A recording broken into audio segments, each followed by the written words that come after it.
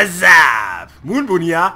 Herzlich willkommen zurück bei Deus Ex Human Revolution Part 17 mit Moonboon und... Lieber Licious und bitte schrei nicht so rum. Oh ja! Ich schreie nicht rum, Freier. Was ist mit dir los? Ich mache halt Stimmung, okay? Weil ich doch gerade geschrien. Oh, oh, ist das ein Aufzug? Oh nein. Oh, ist das etwa ein Aufzug? Ich glaube, ich kann es nicht mehr. Ich glaube, ich kann es noch.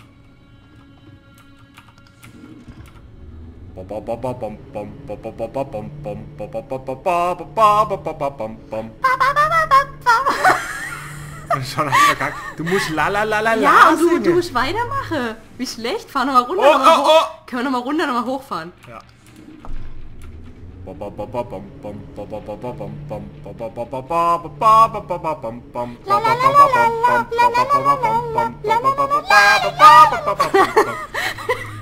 So, jetzt müssen wir aber auch wieder hochfahren.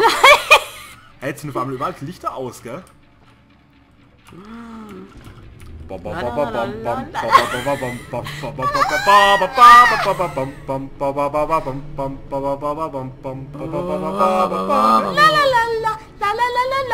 Hey, schon war das besser, da war das richtige Kanon. Ja, du kannst halt nicht. Na, Mo- äh, Ah, jetzt mach ich mal hier Quicksave, dass wenn man sterbe, dass man immer singen muss. Ähm, es gefällt mir nicht, hier ist der dunkel. Hallo?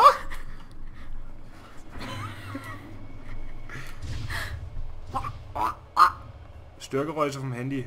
Ah ja, ich werde angerufen. Mach's weg! Entschuldigung. Entschuldigung. Ich muss kurz telefonieren. Wie ist? Telefonierst, gehst aber bitte raus. Ey, what the fuck? Okay, wir warten kurz, bis Bibelicious wieder da ist. Das sieht nämlich sehr böse aus hier. Bis gleich. Weiter geht's. Schrei doch nicht so. Entschuldigung. Ich habe Angst, Bibelicious. Ich laufe mal hier unten, unten drunter. Fühle ich mich safe.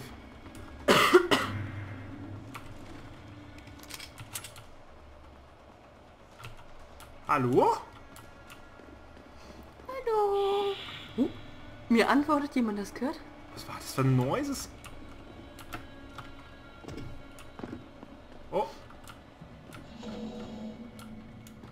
Voll creepy. Das hört sich an wie ein Vier.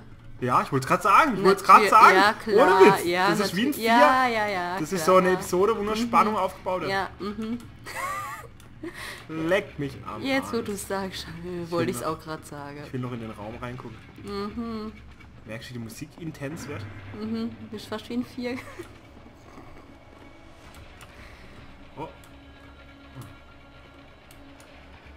Zum Glück bin ich hier noch mal rein. Echt? Da vorne war doch was. Nee, oder? Ach, leuchtet das nur so orange. Ja, das leuchtet nur so orange. Hier rein gar nichts, verflucht! Lauf, Adam Jensen! The fuck? Da ist Hütler am Boden gestanden. Muss ich auch noch aufpassen, wo die Putzfrau die Hütle hinstellt, oder was? Wer sagt, dass das die Putzfrau war? Ich? Okay. Das war meine Putzfrau. Ach ja, das ist deine Firma. Ja. Adam Jensen Corporation. The fuck? Oh! Oh oh! Psst. Oh! Da ist einer! Psst, gesagt. Dreh dich um! Oh, da sind auch noch welche.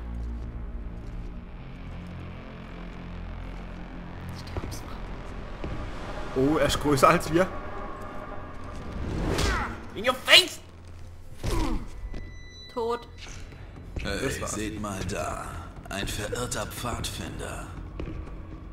Das ist der Kerl, der meine Operation in der Leichenhalle ruiniert hat. Leg ihn um, Barrett. Klar. Mit dem größten Vergnügen. The fuck? So einen Arm brauche ich auch.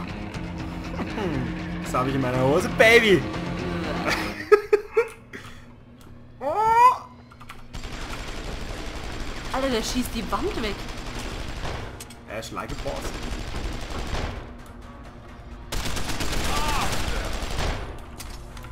Äh. Bro?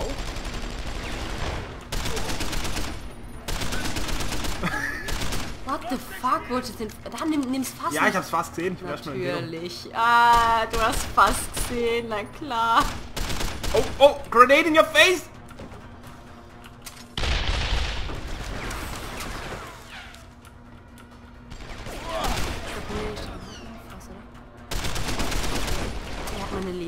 Anzeige von dem? Nee. Das wäre...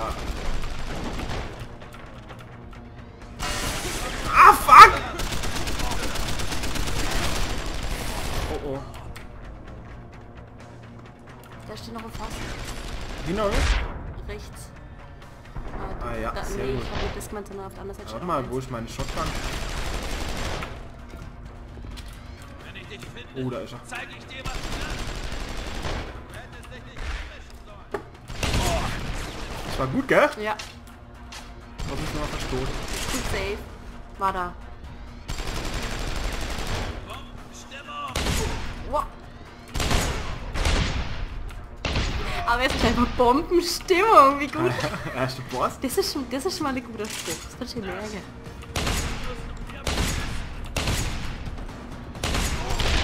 Alter!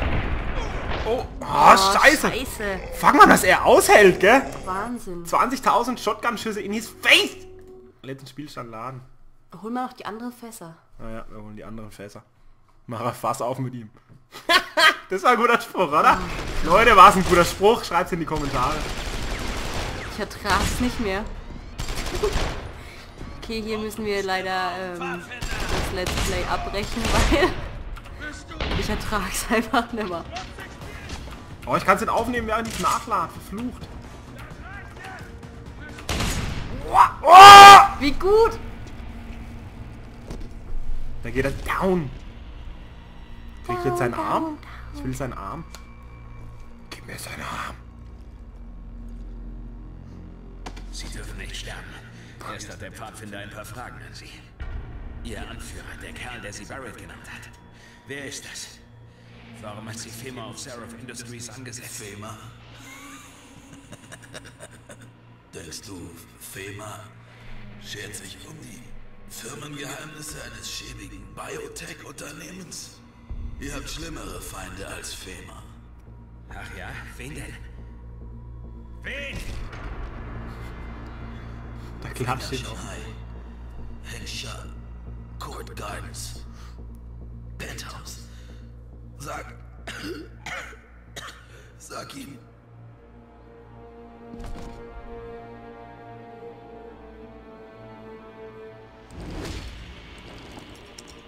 Dass dich Barrett zur Hölle geschickt hat!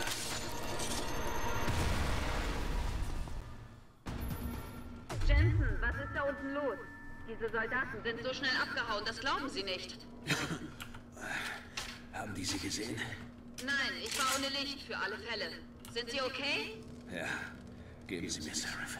Erst bringe ich Sie hier weg. Gehen Sie zur LZ. Ich hole Sie dort ab. Weißt du, was LZ bedeutet? Landezone. Das hat ich aber lang gebraucht. Ja, ich hab's überlegt, wie es auf Englisch heißt. Und dann habe ich ja, bevor das ich jetzt hier falsch ausspreche, habe ich völlig blamier, sage ich es auf Deutsch. Wo ist jetzt sein Arm? Da liegt er. Gib mir deinen Arm. Ähm, wir haben keine Munition mehr für unser Gewehr. Das gefällt mir gar nicht. Da links lag auch noch was. Das ist rechts. Linkser. Linkser. Oh oh. Wo? Halt. Jetzt muss ich erst gucken, wo es war. Da, in der Kiste. Das haben wir doch schon. Ah, wirklich? Ja, und da vorne liegt auch noch was. Da war ich schon. Das kann ich nicht nehmen. Mhm. Bin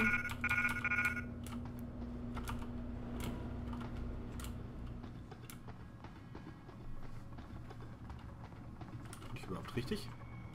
Ich glaube, ich hätte zur anderen Tür raus müssen. War das nicht ein Aufzug? Das andere? Ja. Ah, Ich weiß nicht. Das könnte sein, dass das ein Aufzug war. Ah, nee, oder? Doch. Ich glaube schon. Da steht's. Sandwich Elevator!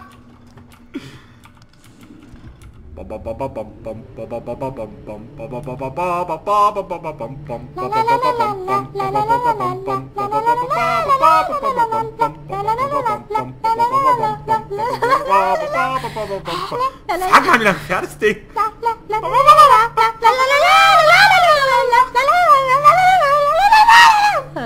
Oh, da sehen wir, wie lange er noch fährt.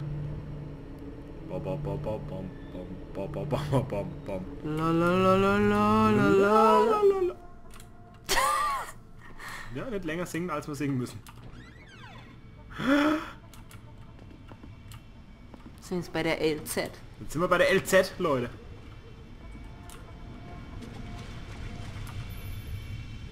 Verschwinden, Jensen? Ah, aber sowas von. Ja, bringen Sie uns zurück zu Seraph Industries. Keine Sekunde zu spät, wenn Sie mich fragen. Anschnallen und festhalten. Hast du mal ihr Vorname gesehen? Die heißt Farrah Dyer. Okay. Farrah Dyer Malik. Voll der komische Name. Das heißt kein Mensch. Ah, Heißt jemand von euch Farrah Dyer, meine lieben Freunde? Ich werde nicht. heißt jemand von euch Adam Jensen? Ich wette nicht. Adam. Heißt jemand von euch Adam? Allein das bezweifle ich schon. Ich kenne niemanden, der so heißt. Natürlich, du kennst... Ja, natürlich. Ach, du hast auch die Kiste gleich... Äh, Ich das kenn wirklich jemanden, der so heißt. Und ja, natürlich. Schau lieber dazu.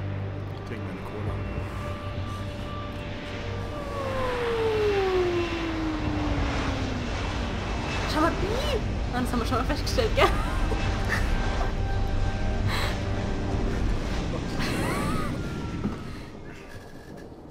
Hey Malik! Farrah Dyer! Ich muss mit Ihnen reden. Kommen Sie am besten sofort in Ihr Büro. Liebend gern, Francis. Aber erst muss ich Seraph informieren. Das mag schon sein. Aber hören Sie sich an, was ich zu sagen habe. Vielleicht ändert das ja was. Pritchard out.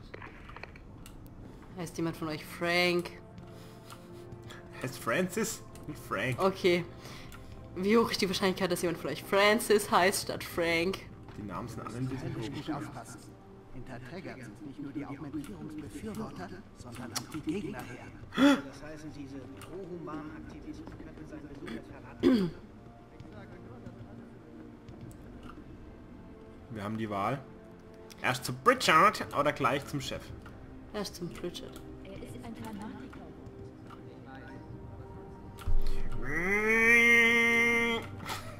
Was wollen Sie? Ich gebe es nur ungern zu, aber ich brauche Ihre Hilfe. Es geht um das Signal, das Sie im DRB-Gebiet abgeschaltet haben. Es war fast ein Jahr lang aktiv. Soll das heißen, dass jemand von außen schon vor dem ersten Angriff Zugang zu unserem Netzwerk hatte?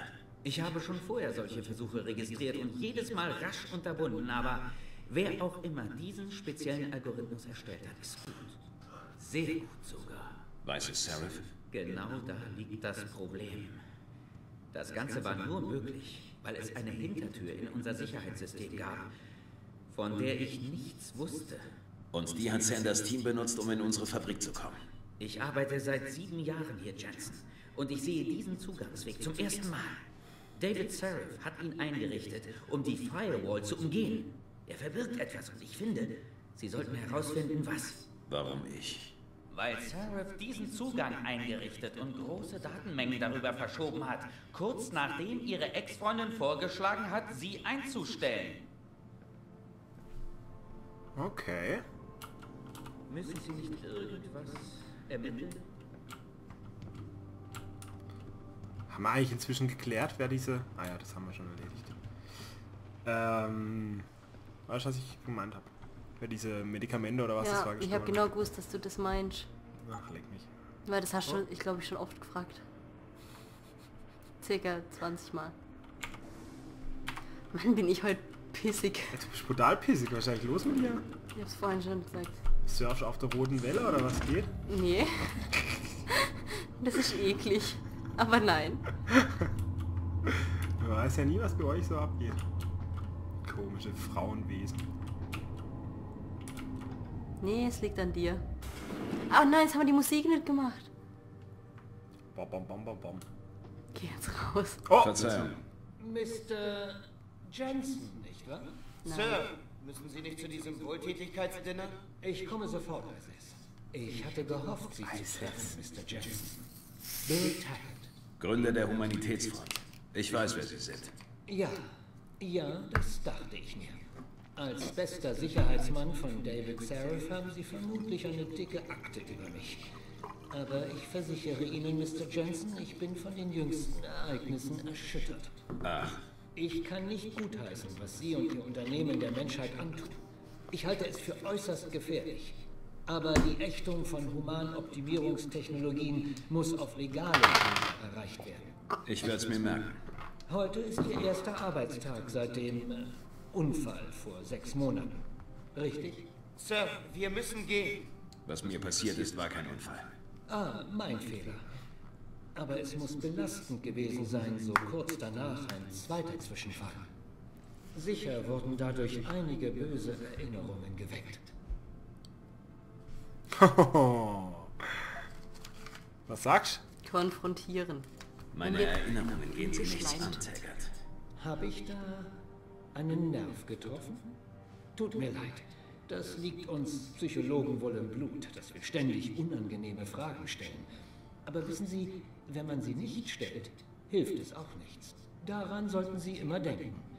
Wenn Sie mich jetzt bitte entschuldigen würden. Herausfordern.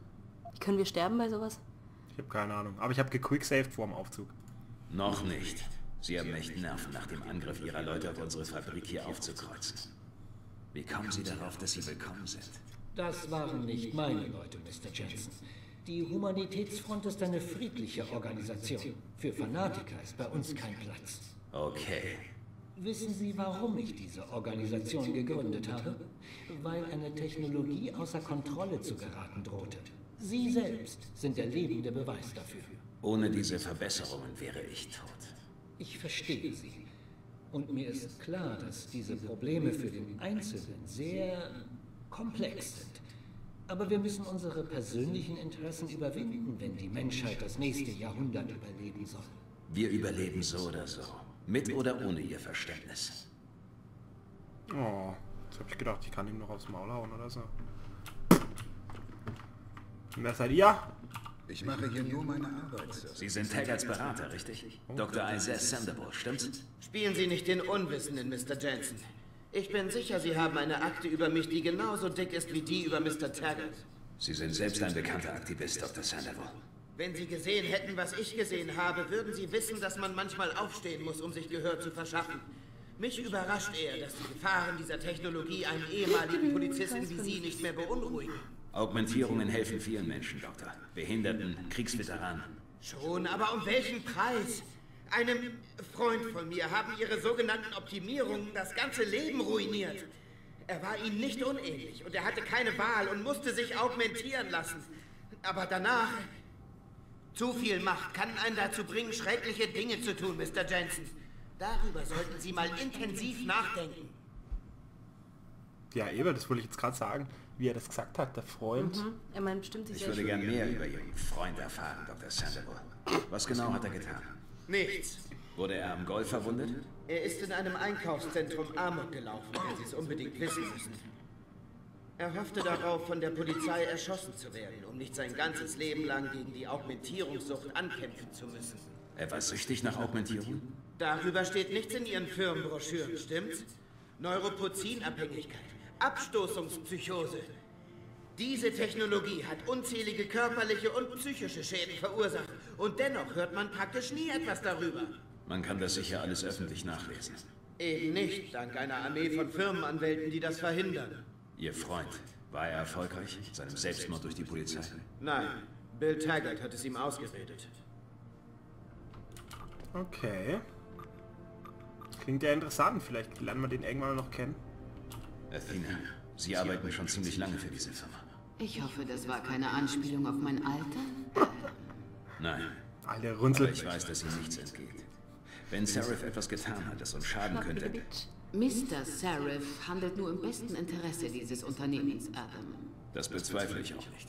Nicht? Ich bin seit dem ersten Tag hier. Er hat das alles aus dem Nichts aufgebaut. Seine Leute bedeuten ihm etwas. Er ist überzeugt, was wir tun, ist wichtig. Und er würde nichts tun, um das zu gefährden. Ich hätte nicht davon anfangen sollen. Nein, hätten Sie nicht. Wenn Sie mich jetzt bitte entschuldigen würden. Okay, also die alte Runzel weiß auch nichts.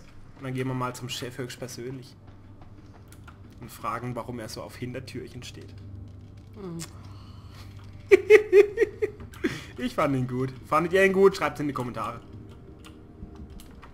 Er war total unpassend. Warum? Warum hast du das jetzt gesagt? Boss, wir müssen reden. Das ist mir eingefallen. Was nicht? Ich bin nicht sicher. Haben Sie einen privaten Zugang eingerichtet, der die Firewall des Unternehmens umgeht, bevor Sie mich angeheuert haben? Wie bitte? Pritchard sagt, dass jemand damit auf unsere Systeme zugreift, und zwar schon vor dem ersten Angriff. Unsere Sicherheitsmaßnahmen haben das nie unterbunden, weil wir nicht einmal wussten, dass es diese Hintertür gibt. Oh, verstehe. Aber Frank hat das in Ordnung gebracht, oder? Jetzt schon. Aber er fragt sich, warum Sie das nie erwähnt haben. Frank ist paranoid, Adam. Das wissen Sie doch. Kann ein vielbeschäftigter Mann nicht auch mal was vergessen? Sie haben extrem viele Daten durch dieses Portal geschleust, Boss. Unmittelbar bevor Sie mich an Bord geholt haben. Pritchard mag paranoid sein, aber ich gebe zu, ich frage mich auch, was das für Daten waren. Sicher. Als ehemaliger Cop müssen Sie das wohl. Aber wichtig ist nur, dass Sie das Loch gefunden und gestopft haben. Wir sind jetzt sicher. Und die Informationen aus der FEMA-Anlage bringen uns vielleicht auf die Spur dieser Kerle. Wir sollten uns auf wichtige Dinge konzentrieren. Ah.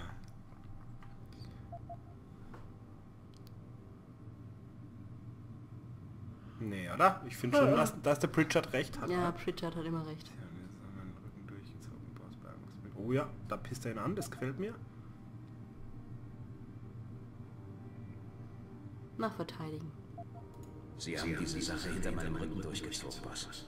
Bei allem Respekt. Ich soll hier für Sicherheit sorgen, aber wie soll das gehen, wenn Sie nicht ehrlich zu mir sind?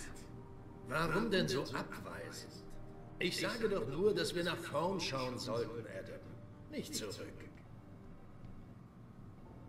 Schön, ich habe Ihnen nichts von dem Portal erzählt, das uns angreifbar gemacht hat. Aber eigentlich wäre es Ihr Job gewesen, unsere Schwächen aufzudecken und zu beseitigen. Ich brauche Truppen, auf die ich mich verlassen kann. Und ich dachte, das wäre bei Ihnen der Fall. Ich habe Sie engagiert und Ihnen vertraut, obwohl andere mir davon abgeraten haben. Frank wollte, dass ich ein privates Militärunternehmen wie Bell Tower Associates nehme. Vielleicht hätte ich das tun sollen. Oh, leg der Wichser. Ich denke, ich habe mich heute bewiesen. Und der einzige Grund, warum ich mir wegen der Hintertür Sorgen mache, ist der, dass jemand auf die gesendeten Daten zugegriffen haben könnte. Zurückverfolgt und gestohlen von den Männern, die uns angegriffen haben. Unsere Feinde können es damit auch jetzt noch schaffen. Was? Nun, das habe ich nicht bedacht. Ich bin... Tut mir leid. Sie haben sich heute in der Tat bewiesen. Ihre Befürchtungen wegen der Daten sind kein echtes Problem. Solange wir stark sind und als Team zusammenhalten. Genau das habe ich immer versucht. Die besten und qualifiziertesten Leute zusammenzubringen, damit sie sich gegenseitig ergänzen. Megan hat das verstanden. Darum hat sie auch vorgeschlagen, dass ich sie einstelle, damit sie mithelfen, dass unsere kleine Familie überlebt.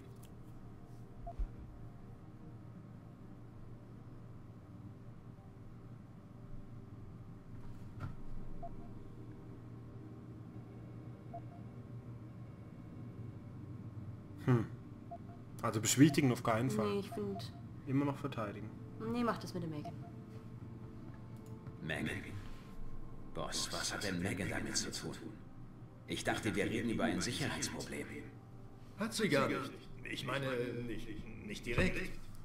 Die gesendeten Daten hatten nichts mit Megan oder ihrer Arbeit zu tun. Es ging lediglich um eine Faktenüberprüfung, reine Routine, die das Ergebnis eines unserer Gespräche war. Solche Überprüfungen muss ich hier ziemlich oft durchführen, ob Sie es glauben oder nicht. Sollte jemand die Übertragung tatsächlich zurückverfolgen und einen Blick darauf werfen, kann er wohl kaum etwas damit anfangen. Sie können mir glauben, es ist alles in Ordnung. Ich glaube ihm kein Wort. Ja, auch nicht. Boss, vor sechs Monaten wussten Söldner Dinge über dieses Unternehmen, die mir unbekannt waren und konnten so meine Sicherheitsmaßnahmen überwinden. Mir ist egal, welche Geheimnisse Sie und Megan damals hatten. Ich will nur sicher gehen, dass Sie niemand gefährden. Gesundheit. Danke. Adam, ich wollte nicht andeuten, Sie haben recht. Okay, Sie haben recht. Ich, ich sollte Ihnen diese Informationen nicht vorenthalten. Ich kann nur hoffen, dass Sie den Grund dafür verstehen. Oh nein. Also gut. Hören Sie. Gesundheit. Die Wahrheit ist, ich habe einen vertraulichen Datenkanal für einen Privatdetektiv eingerichtet. Jemand, der Hintergrundüberprüfungen durchführt. Über potenzielle neue Rekruten. Wie Sie. Was? Ich musste es tun, Adam. Sie waren ein Risiko. Schon vergessen? Das SWAT hatte Sie gerade gefeuert. Megan hat Ihnen zwar vertraut, aber ich musste sicher gehen. Aber ich will nicht, dass diese Sache uns spaltet. Ich schicke Ihnen die Dateien auf Ihren Computer, dann sehen Sie selbst, was er herausgefunden hat. Aber Adam, Sie sollten sich das gut überlegen. Warum? Was soll das heißen? Dass man die Vergangenheit manchmal besser ruhen lässt. Sobald Sie die Daten sehen, können Sie es nicht mehr ungeschehen. Wenn Sie bereit sind, kommen Sie wieder zurück. Wir müssen unsere nächsten Schritte besprechen. Ah, Praxispunkte. Das heißt also, der hat uns überprüft, bevor er uns eingestellt hat. Okay, dafür haben wir jetzt 10 Minuten mit ihm geredet, Ja. um, um das herauszufinden. Alles klar, dann gehe ich jetzt mal weiter. Ist dir übrigens auffallen, dass er hier einen Koffer stehen hat? Ja. Der will bestimmt abhauen. Wenn wir, jetzt, wenn wir gleich zurückkommen, ist er weg. Koffer fehlt über alle Berge. Du weißt, in einem Monat habe ich Geburtstag. Was, du hast Geburtstag? In einem Monat. Dann will ich den Globus. Vergiss es. Aufzug.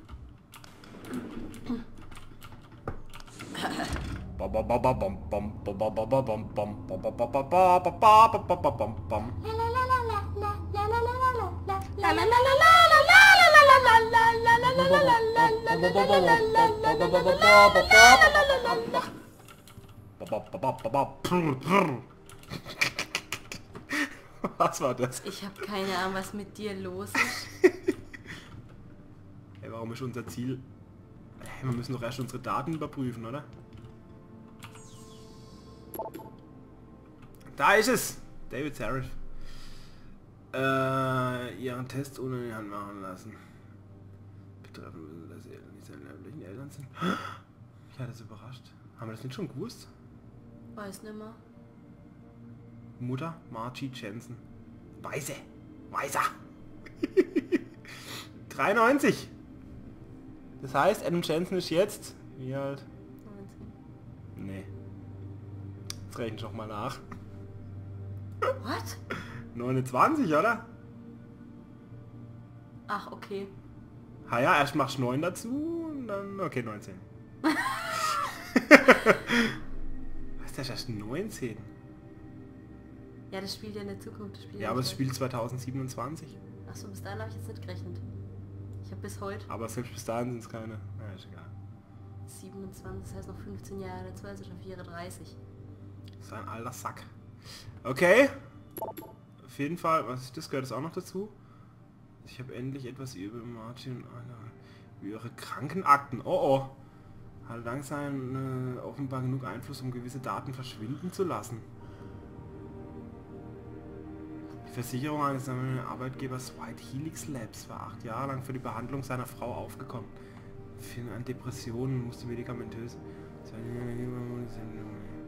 Und jetzt kommt's, Achtung, jetzt kommt's. Bist du bereit? Ja, Gerade noch hatte Adam nicht einmal existiert und plötzlich hatten die Chances einen fünfjährigen Sohn und dann verschwanden sie von der Bildfläche. Ich habe also noch etwas tiefer gegraben und wie es aussieht, hatten die Jensens bei verschiedenen Agenturen in ganz Michigan versucht, ein Kind zu adoptieren. Aber Margie war immer abgelehnt worden. Doch dann hatten sie plötzlich Adam. Ich habe allerdings keine Ahnung woher. Oh oh. Psychologische Beurteilung nach dem den Augmentieren gefunden. Konnte seinen Blick in seine Ohren haben und nicht kopieren. Die Beurteilung fällt nicht gerade gut aus. Von Autoritätspersonen, Missachtung, ja, das Typische eben für einen Badass-Helden. ich wollte gerade sagen, ich glaube, das ist dein Profil.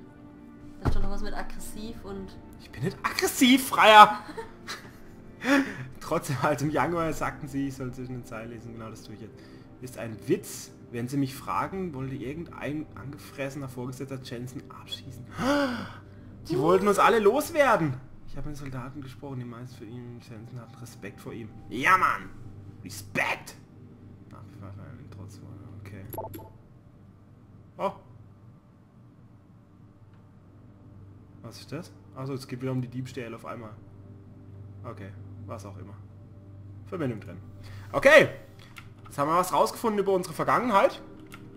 Und wir gehen jetzt nochmal nach oben und werden unseren Chef zur Sau machen und mit ihm über das weitere Vorgehen reden. Okay?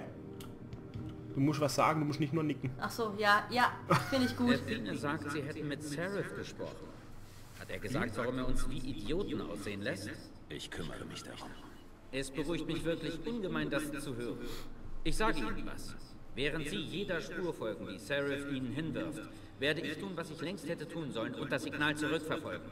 Das ist nur Ihr verletzter Stolz. Trotzdem, sagen Sie Bescheid, falls Sie was finden. Sie meinten, sobald. Mit Sicherheit nicht.